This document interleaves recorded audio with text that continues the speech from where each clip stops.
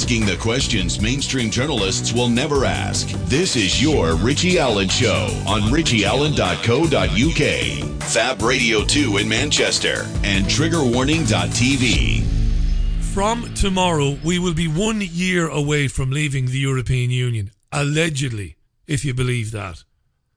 Now, this is a story that hasn't done the rounds of the media today because they've been talking about Harvey Weinstein and they've been talking about Russia again, of course, and plastic in the ocean. And they've been talking about, of course, the Worboys case, the taxi driver rapist, all of this. But here's the story. So tomorrow we should be only one year. There should only be a year from tomorrow before we leave. It's not going to happen. Now, the Prime Minister, Theresa May, and David Davis, the government's Brexit negotiator, you know, last week they agreed the terms of a transition period with the European Union. Now, I reported on this and I wrote some very strong things about it. The terms of the transition period, by the way, which will run until New Year's Eve 2020. Don't think or imagine we're leaving the European Union in a year's time. We ain't. The transition period will run until New Year's Eve 2020. I had a bit of a rant about this. In case you don't know what the terms agreed were, this is proper sellout stuff, this. EU citizens who arrive in the UK between March 29th next year and New Year's Eve 2020, well, those people will get the same rights and privileges and guarantees as those who arrived before Brexit. This is a disgrace. The UK will still be party to existing EU trade deals with other countries. Not only will the UK be subject to existing rules and regulations of the EU, but they will also be the, the, the UK must also obey any new rules and regulations in the transition period. And importantly, and I had a good say about this last week, the European Union will continue to dictate fishing quotas. Now, the UK will be consulted on the quotas according to Michel Barnier, um, as I reported on 10 days or so ago. But the EU will still dictate the quotas. And there was also a horrifying statement on Northern Ireland, which it was said will stay in parts of the single market if there are no other solutions to avoid the hard border. So, what that transition period agreement meant to run until New Year's Eve 2020, it meant that we ain't leaving the EU, at least not before 2020 or 2021. Okay? Now, fishing rights is massive.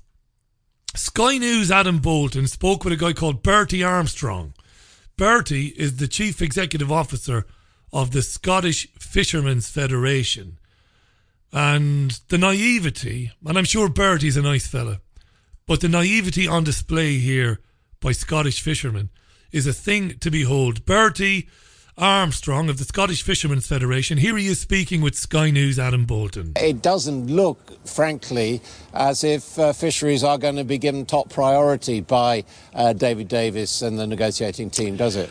Well, the, the fact of the matter is that international law will change actually on the 29th of March next year. Uh, and, and, and our present circumstance, uh, the, the amount of fishing opportunity that we get, is extremely distorted in international terms. It's, it's just not normal. Now, the, the Prime Minister has promised that there will be fairer shares for UK fishing. Uh, and and uh, unless it's really badly handled, that's what will uh, come to pass. But it's really important that the UK takes its place and to not do so would be a national humiliation for a nation with our maritime history and our position in the middle of the best fishing grounds in the world. It would be a national humiliation if we didn't decide what is caught, where it's caught, and by whom in our waters. Absolutely. What's caught, where it's caught, and by whom in our waters. But he's incredibly naive, saying that he expects that and he went on to say in that interview that Norway and other countries in the EU reserve the rights, reserve the right even to take 85% of what is caught in its waters. And this is what he's expecting after we finally leave the European Union. But it's not going to happen. He's incredibly naive. After the sellout that we saw last week, which I described, he still thinks that Theresa May who favour staying in the European Union will get a good deal for the UK's fishermen. They won't get a good deal. And we're seeing the vote to leave being attacked as never before today and yesterday and all this week from those who say that the Cambridge Analytica Facebook scandal is evidence that the referendum was tainted and the claims that vote leave overspent and broke spending regulations. It's under enormous attack, this. It's quite extraordinary, really. We'll leave that for the minute. We'll come back to Cambridge Analytica because it came up at Prime Minister's questions today. We'll have a look at that. Let's talk for a minute about the United States kicking out Russian diplomats. This was announced, of course, yesterday. Everybody's kicking out the Russians, God love them. The United States has said that Russia has to first confess to the Salisbury chemical attack in order to mend relations with the US and NATO. It's a wonderful ultimatum that admit that you did something that you say you didn't do and that we don't have any evidence that you did. Admit it, and then we can move on from there. State Department spokeswoman Heather Nauert spoke to reporters last night in DC. That's State Department spokeswoman Heather Nauert. Have a listen to what she had to say. This is quite comical. We have long said uh, that Russia remains uh, a country that is interested in fiddling with other people's elections. The United States, uh, that is not unique to the United States. We've seen that in Mexico, we've seen that in France, uh, European countries that have elections coming up. We've seen Russian attempts at meddling, and also with the um, with propaganda as well. So we can't say that the United States is going to be any safer from its election as a result. Russia has long arms. Russia has lots of tentacles. Uh, we imagine that they will uh, continue to have an interest in our elections, but also many other nations' elections as well. Arms okay. And tentacles. Arms and tentacles. Uh, this that's is right. Quite a quite a beast. It's, it's like a, it's, Can you just? I, I just want it's a beast from the deep sea. I just want to um, make an appeal. Can you try? You just said in answer to her question, I don't know what these guys were up to. Can you ask? I'm saying I don't personally I know, I exactly what they were up to, But can- but we can say can we they find- were spies. We're kicking them out. The nation will be safer. We, we- will be better off as a country with 60 less spies here in the Can United you States. just find out, ask if from this building we can get someone to give us even a general idea of whatever bad stuff these guys were doing. Not like it's you know it doesn't have to be completely specific, but just Mm-hmm. some idea. Because frankly, just saying that dude's a spy, get out. I mean, Matt, these are things that are, are tracked closely by um, I'm sure they are. certain you know, a lot of departments things, and, and people here tracked in people well. here in, in So- Washington.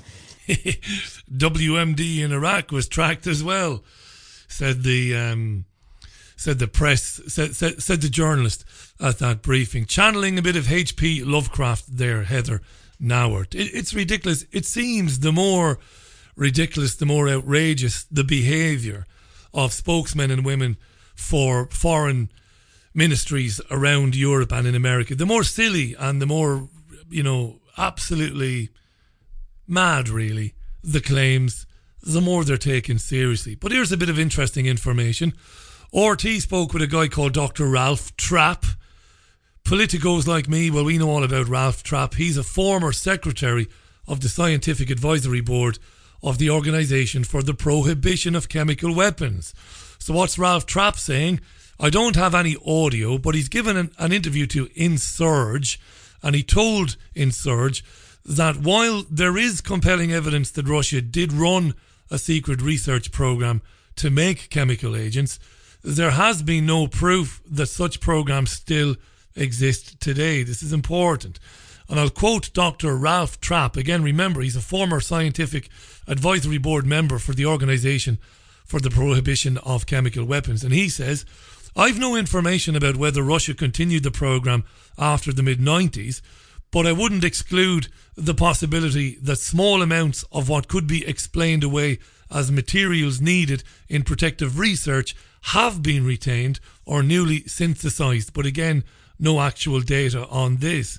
Now, responding to the question, was Russia behind the attack on the Skripals? Trapp said, well, there are other theoretical possibilities. It would depend on what else the UK knows and has not yet made public. And he went on to say he can't immediately see motive or opportunity for other parties to be involved except for the UK as suggested by Russia. But he said he didn't uh, consider that theory credible at all.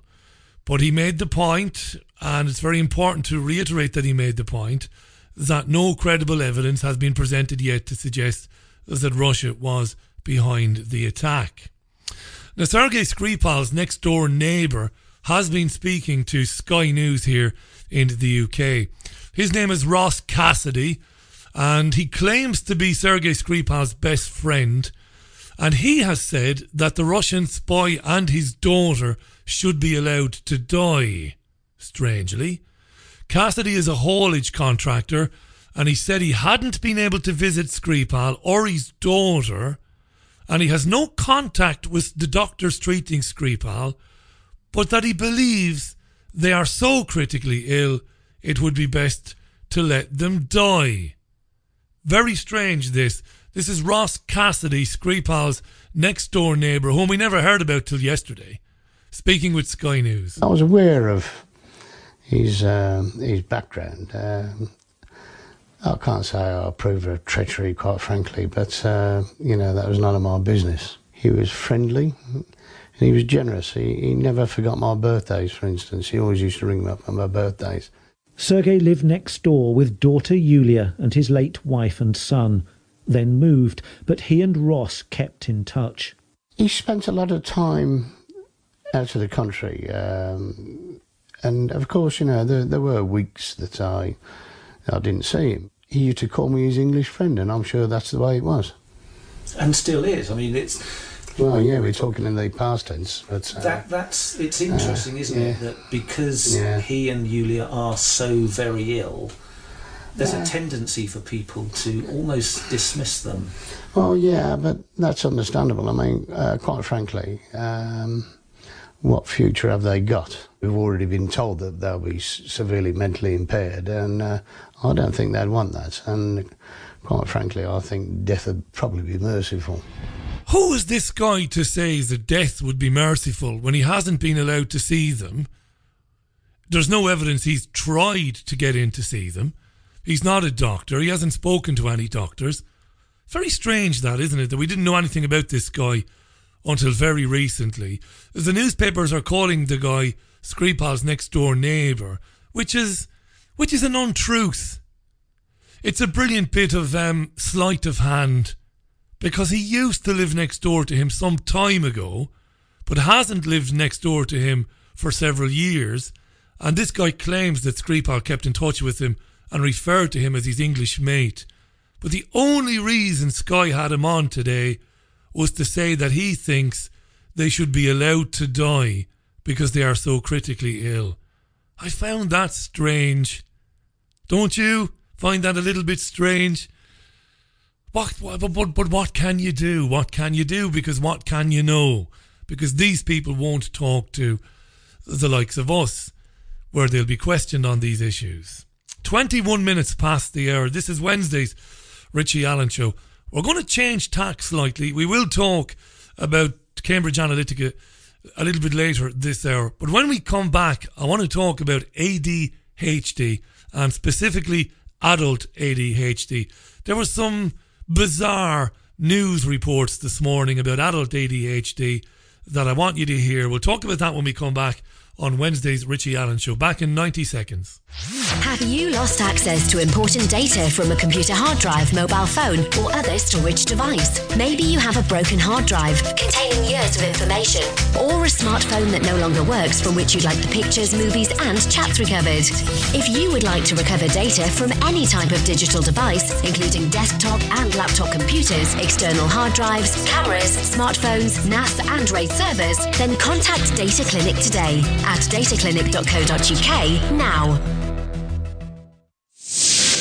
A place high in the mountains of Spain, a sanctuary where souls gather from all around the globe to learn about themselves and experience powerful changes in the way we see our world. They become awakened to their gifts and their power to heal others. Become part of this ever growing worldwide family of unique, pure energy healing practitioners. Discover how amazing you truly are. Go to www.markbayerski.com.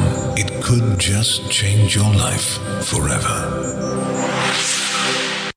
Introducing the H2O app, a powerful water structuring application that programs vibrational energies into water through the use of different sound frequencies. Once programmed, the use of water for drinking, cooking, bathing. Give it to your friends and colleagues or spread it around the garden. The list goes on. It's not just water that the app can be used for either. It's great for programming crystals too. The H2O app is free to download and is available on both Android and Apple platforms. For further information, go to h2oapp.online. The Richie Allen Show relies on your support. Go to richieallen.co.uk and set up a monthly donation today.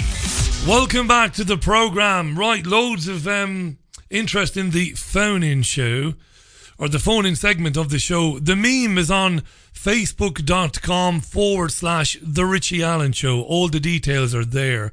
The phone number is, if you're calling in the UK, 0161 818 2018. 0161 818 2018. That's 2018. Now, you can Skype chat with Richie. All the details are on a meme. Don't do this or call me ahead of me opening the line because I won't answer because I have plenty of things to get through between now and then. So you're only wasting your time if you're trying to get through to me now. Don't um, do that. Wait till the second hour of the program. This is very interesting. You might know Richard Bacon as a former Blue Peter presenter. He also presented a drive time program for Radio 5 Live for some years as well. Now, in the last couple of days, he gave an interview to the Sun newspaper where Bacon said that he has been diagnosed with ADHD, Attention Deficit Hyperactivity Disorder. It's often called ADD, Attention Deficit Disorder. Now, he's 42, is Bacon, so he's pretty much the same age as me. I'm 43. And he's working in the US now, not for Fox News, but for the Fox company. And he went to doctors in the US because he said his behavior was causing his life to enter something of a tailspin. He said the consequences of his behavior built up into something serious for him and his family. He said a combination of trivial matters and a hard partying lifestyle made him feel like he was losing control. Bacon said to the Sun, I'd lose credit cards twice a week and my wallet, keys, passport, and phone. It sounds trivial, but the consequences add up to something quite serious for your family.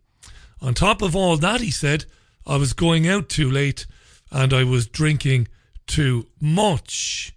He said, This caused pain and chaos. It's been a relief to be diagnosed with ADHD, he said. I'm better, I'm sleeping better, and only drinking a couple of times a week. And um, he spoke to Radio 5 Live today, did Bacon. And I've got an interesting 45 second clip of that. And then we'll talk about it. And we'll also hear from a psychologist. This is really important stuff, this. This is really important. So listen to what Bacon said. Bacon is an innocent enough guy, journalist, presenter, making a life for himself now in America, former BBC. He's 42 and he has been diagnosed with adult ADHD. Right. I thought, yes, I do. Yes, okay. We can hear Bacon. Richard Bacon, then. My son said to said to Rebecca, my wife, the other day, you know, when we were explaining this process that I was going through, and he said, you know, when when Dad gets his brain fixed, will he be able to do Lego with me? And it's that kind of thing. It's it's it's focusing on them, being present in the moment. Um, uh, the, the hyper focus to me basically translates as being in love with stuff in the news a lot of the time. And it's that not reaching for Twitter to check a headline about Donald Trump whilst I'm trying to build um, the uh, you know the Millennium Falcon out of Lego with my son. It's it's it's just being more present with them. I think being more present with them. So trying to build the Millennium Falcon with his son, and then he would be compelled to check Twitter. Keep that in mind now for a few minutes. That was Richard Bacon. I'm going to repeat myself once or twice during this segment, but I have to do it. Bacon is 42 and has accepted a, a diagnosis of ADHD, ad, adult ADHD. Now, Susan Young is the president of the ADHD Association. She was interviewed by Radio 5 Live's Rachel Burden. Burden told Susan Young that Richard Bacon had a brain scan as part of his diagnosis, which is very strange. Young didn't get into that, but Burden asked Young, how easy is it to diagnose somebody or anybody with ADHD? Um, ADHD is assessed by a, uh, you know a group of symptoms that a constellation of symptoms that hang together and they that cause people impairment in their lives. And there's a very clear uh, uh, uh, there are very clear um, uh, diagnostic criteria um, that are used in uh, America and the UK and, and, and Europe and, and across the world to diagnose ADHD. Right. There you go. She's given the very clear definition of ADHD. Well, of course she didn't. She said it's a group of symptoms. Then she said it's a constellation of symptoms that hang together. It's very clear, she said. And to reiterate that, there is consensus on this. She said it's in the US and in the UK, it's clear what it is. It's very, very, very, very, very clear. In fact, she was very, very, very, very vague in her definition of it. So, what did our fearless BBC presenter say next? Hmm. And we know um, that it is, or our rates of diagnosis amongst children is probably better, but this is a condition that you live with lifelong. It's something you don't particularly grow out of. Would that be right? Hmm, said Rachel Burden. Hmm, we know this and we know that. She didn't say that the renowned Harvard neurologist Jerome Kagan says it's bollocks.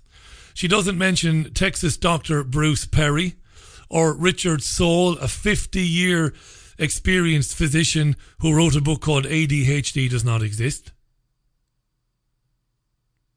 Perry, as in Bruce Perry in Texas, he said that ADHD was merely a description of symptoms that most people will show signs of at one time or another. But no, of course, BBC presenters don't ask good questions. Then Rachel Burden gets to the real reason we're hearing from the lady psychologist. This is not an interview at all. It's an advertising feature, an advertising feature for Big Pharma. Sure, there must be loads of people with ADHD and they don't even realise it. But there will be people perhaps who have undiagnosed ADHD. Well, we know that there will be, of course, there will be. And inter- interestingly, some um, listeners already were in touch this morning hearing Richard speak and say, that, that sounds exactly like me. That begins to make sense with a lot of the kind of stuff I'm dealing with in my life. Exactly. There, there are actually loads of people, um, I think, with uh, with undiagnosed ADHD. Um, I've done a lot of work, for example, in the prisons, and there, around, uh, we found we we've done comprehensive clinical assessments in prisons, and around um, 25% of people in our adult prisons have ADHD, and around 30% in youth offending institutions. And what is staggering is that we, as the researchers, are the people who are identifying this disorder. There, there, very few of them have had the disorder identified in childhood or have received treatment for it. Um, and also, but if you, another study that was done that I was involved in, where we went into lots of different adult mental health settings, addiction services, anxiety services, and there's a lot of undiagnosed ADHD.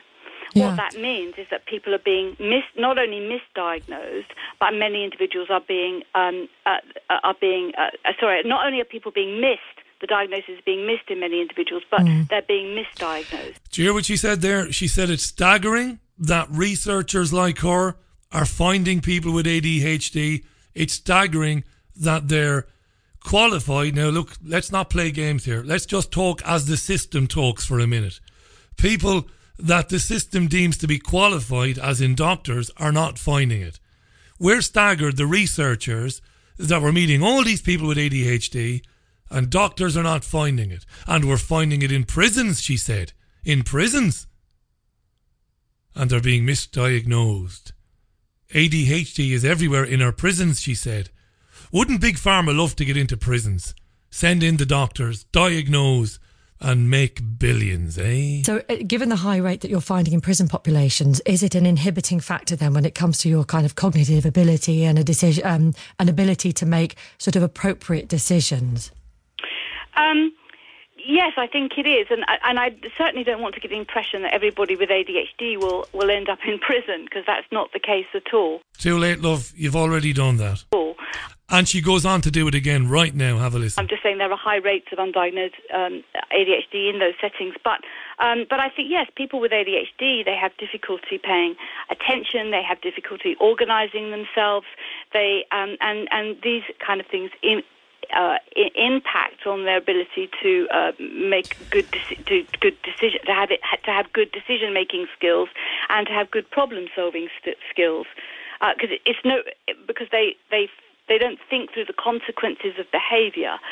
What happens when you talk a load of monumental bollocks is you start stuttering and stammering like that. You find it difficult to formulate your ideas in a coherent sentence.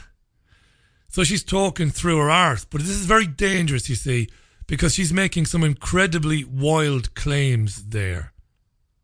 And she's not a doctor nor a scientist, she's a researcher a researcher. She calls herself a psychologist, which is not a science, a researcher. And she said that undiagnosed ADHD may be the reason why some people don't understand the consequences of their behavior and then offend. And there's no challenge coming from anybody. The BBC could have found one of dozens and dozens and dozens of not conspiracy theorists or holistic practitioners, but actual academics like the ones I mentioned to say this is bollocks. This is an advertising feature for this is the beginning of an idea. We're seeing the genesis now of an idea to get millions and millions and millions of people onto ADHD medication. This is how it begins, you see. National radio stations providing a platform for quacks, cranks, and shills like Susan Young to go on the air and to start telling wild stories about how there are vast numbers of people in society with ADHD that need to be diagnosed. Prisons are full of people who might not be there if they had been diagnosed. Think of the implications of that. And if it couldn't get any worse, or you thought it couldn't get any worse, then you get this from the BBC. Should you go to your GP, will they always have a, a full understanding of the kind of spectrum of symptoms for ADHD? Uh, yes, you should go to your GP. They are the gatekeepers for uh, being referred to the appropriate services for comprehensive assessments. Um, unfortunately, I think that you know GPs have what five minutes with you, um, so they, uh, you know, there are many GPs who are not really up to speed with ADHD, and they're very pressured and overworked, and it's very difficult. But others will recognise the symptoms and will refer. So I think um, it's a little bit of a lottery as to as to uh, how well up your GP is. Mm. It's one of the groups that we would like to target for training um, and to sort of to reach out to GPs to support and help them. It's one of the groups we'd like to target for training. Yes, we want to target GPs to pressure them into diagnosing people with ADHD. So you get to your doctor and you tell your doctor, you know, I'm here because I can't concentrate and I can't focus, and you'll get medicated. So, take me for example. Take you for example. Take somebody living next door to you for example. Because we don't know the sort of lifestyles people are, le- are leading. But somebody is not sleeping well. The person is worried about their bills maybe their relationship is suffering as a result of this and because they are tired all the time. They forget things, they can't focus, they can't concentrate, they're a bit irritable, and they go to a GP. Now, a GP, as the guest acknowledged there, only has a few minutes to spend with each pa- with each patient. This is due to the targeting systems imposed on GPs, NHS surgeries around the country by the Labour government. They've only got a few minutes. That's all they have. They will input what you tell them to their computer. Tired, can't focus, can't concentrate, can't keep, keep my mind on one thing for too long without getting distracted, and I'm irritable. They'll put this into their computer, which is just a big pharma manual basically, and that will diagnose appropriately. The computer will diagnose it, and the computer will recommend a prescription accordingly. This isn't bullshit. This is what happens. It's been over two years since I was in a surgery, but it's what happened. It's what the doctor did when I was speaking to her. She typed stuff into a computer. You might as well phone, phone a call centre.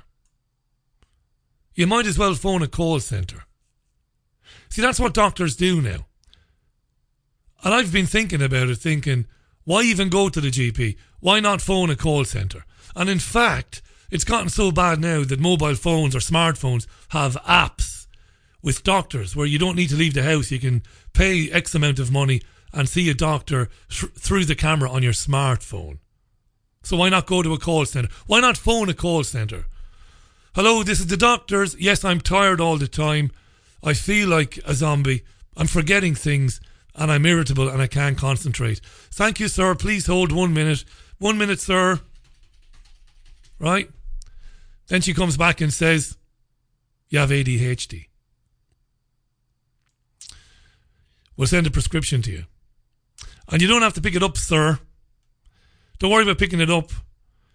I'm sending you some Ritalin through Amazon.co.uk. If you listen closely, you'll be able to hear the drone now dropping your medicine down the chimney. That's where it's going. It's madness. I have or had a family doctor who's a very, very old, very, very senior lady. These were doctors. These are real doctors. We all remember them. The old family doctors. Now you've got kids just out of university. They're not doctors. They are big pharma representatives who crammed like a bastard at university to get their degree, go straight into the workplace. And I think they're dangerous. Not all of them, and they're not deliberately dangerous, but they represent, I think, a clear and present danger to the to the lives and the health of their patients. Because all they're doing is what I did there. Click, click, click, click, click. All right, you've got this. Here's the prescription. Um, go and take it, and we'll give you a call in a week and see how it's going. It's not just worrying the madness of, you know, the madness of, of life, excuse me, that's causing sleeplessness and lack of concentration and lack of focus. No, it isn't. It's, it's EMF, Wi Fi, smart meters, 5G, the food that we're eating.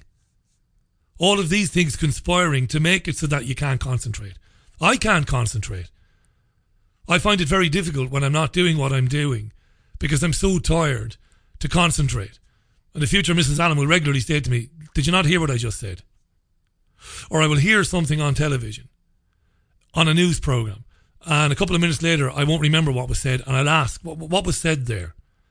I don't have ADHD. That's a big pharma invention so that children could be medicated all over the world. What I have is uh, a natural response to the crazy environment that I live in. Richard Bacon is probably a decent bloke. Did anybody think to say to Richard Bacon, so you're making the Millennium Falcon with your son, and you get irritable and you check your mobile phone to see what's on Twitter? Do you ever think that's not a psychological condition, Richard, that needs to be treated with medication? Did you ever think that's down to the fact that the phone is there in the first place? It's there. It's an addiction, Richard, that you can deal with yourself by switching it off. Do you really need Ritalin to be able to spend quality time with your son, man? And to make that Millennium Falcon with Lego or whatever? Do you really need to take Ritalin to be able to do that? Why not turn off the phone, the laptop, the tablet? Leave it. Ignore it. This is craziness. This. And, and the and the real worry about this is is that there's no challenge to it. None. You have BBC Radio 5 Live effectively acting as an advertising feature platform for Big Pharma to say, without any challenge, oh, we reckon there are massive, they're talking about millions of people that are going around that probably have ADHD. And this thing about prisons is incredibly sinister. We've been in prisons and we think loads of prisoners. So let's let's do that. Let's effectively lobotomize people in prison by putting them on medication to make them all acquiescent and all quiet. Most people are in prison, A, because they stole to feed a drug habit, or they stole to feed themselves. They're not there because they couldn't make good decisions, um, because they needed to be diagnosed with ADHD and they needed Ritalin. No, they're there because society wants to lock people up because life is miserable. Life is fucking terrible. It's horrible for most people. Even those people who think they're doing well. We've got a couple of cars in the drive. We've got a four bedroomed house. We go away two or three times a year. Yes, mate, but you never see your wife. She never sees you. Because both of you are working 60 hours a week. The children are a distant memory. And that lovely house, it won't be paid for for 35 years. How's that life? That's enough to drive anybody mad. And they want to diagnose that now. Adult ADHD, the next thing, the coming thing, coming soon to a surgery near you, just like statins came in. This is where it's going.